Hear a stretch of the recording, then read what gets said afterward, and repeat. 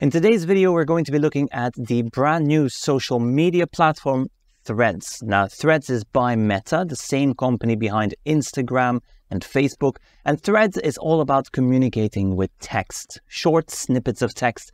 And also, they are using some of that same infrastructure. So there's a fairly large user base ready to go, jump in and dive onto this platform.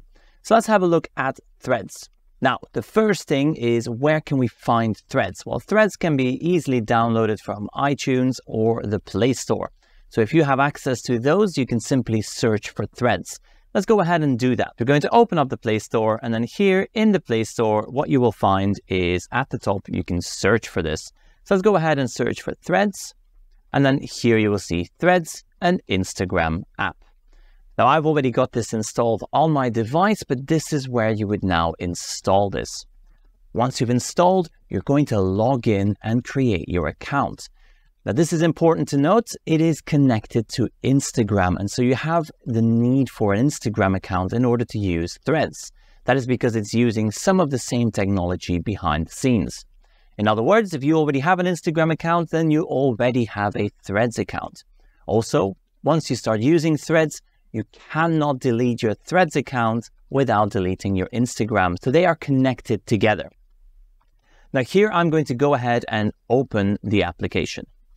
Now when you open the application, what you will see is your home screen. So here you can see I'm on my home screen and my home screen is showing me a feed of various people I'm already following.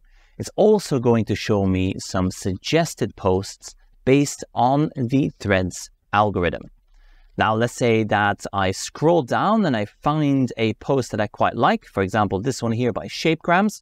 I now have a number of options. Here at the bottom, I can like this post. I can choose to repost this. So when I click on this, I can repost it or even quote and add my own commentary to this. Or I can click on the send and share button. Now this will allow me to add it to my own Instagram story it will allow me to tweet this out using Twitter, or I can copy the link and share it to any other platform I want.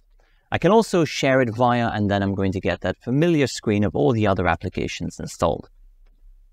We can also add to this conversation. So when I click on the thread icon, I can now reply to this message.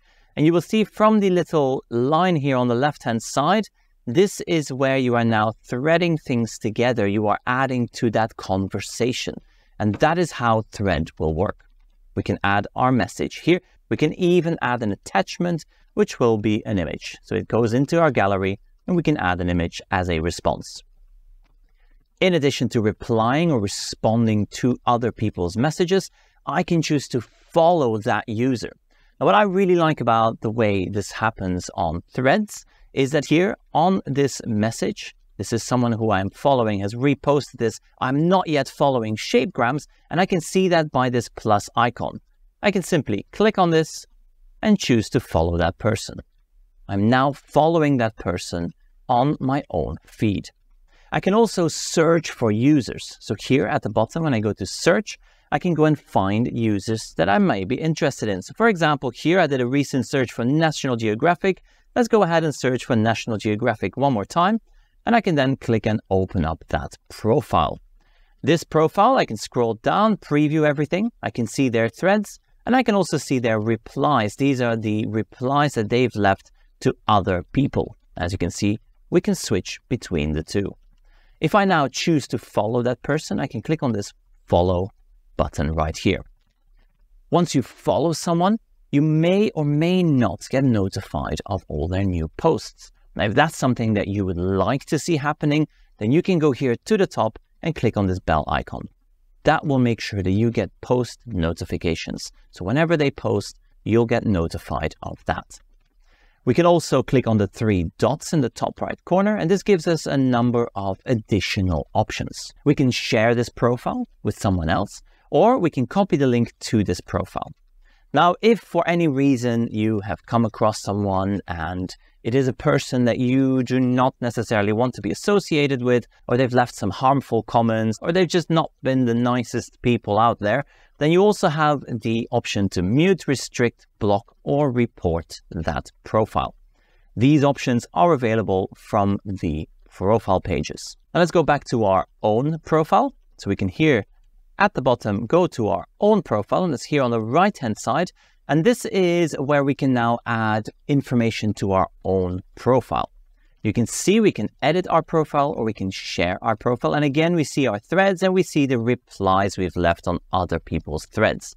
I'm going to go and click on edit profile.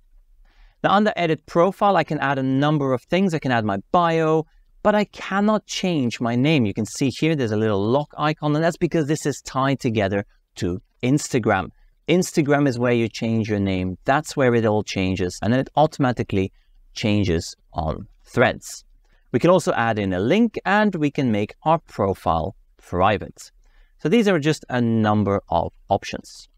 In addition to that, we have additional options by going to the top right corner where you see those two little lines here, and these are more options or settings. In here, we can choose how to follow or invite friends. We can pull these all in from Instagram. We can change our notification settings. So you can see I can pause all notifications, or I can choose which threads and replies I get notified of, and following and followers if I get notified of these as well. We can also change our privacy settings. And under account, this is one I really like, we can choose to take a break.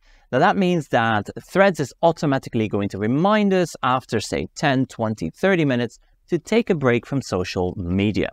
I have it set to never because I'm not going to take a break right now. I'm just going to keep exploring the platform.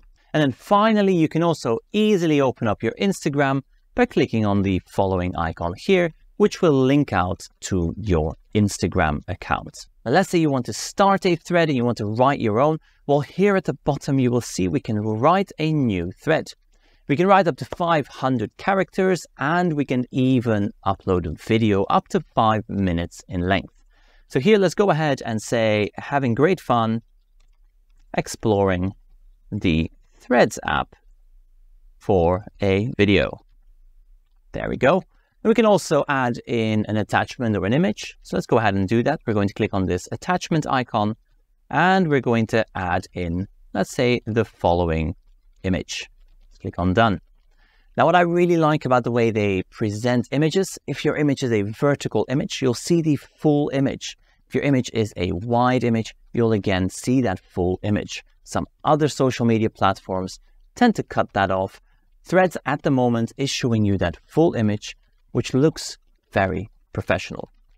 You can then also choose to change who can reply to this post. So here at the bottom, I can choose anyone can reply to this, only profiles I follow, or mentioned only. So if you're mentioning people in your post, then they can respond to that. Other people cannot reply to it. I'm going to leave it open. I'm going to just make sure everything is ready to go and then post this. And there we go. We can now see that that has been posted on my profile. Now let's scroll down and show you an example of that longer form. So this is what I meant with the vertical form. You can see that it still presents it in a vertical format as you're scrolling through your profile. Now, once you've posted, you can still change some of those settings. So you can go here to the three dots.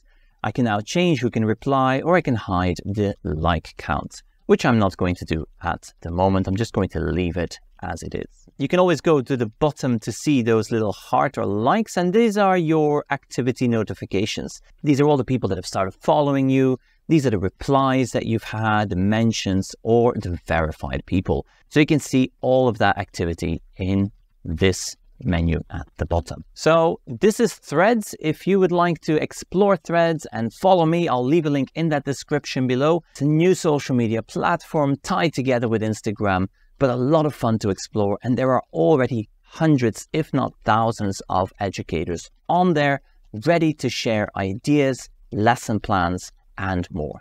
So let me know who you are following on Threads. Leave it in that comment section below, and I will look forward to meeting you on there. In the meantime, thank you for watching, and I will see you in the next one.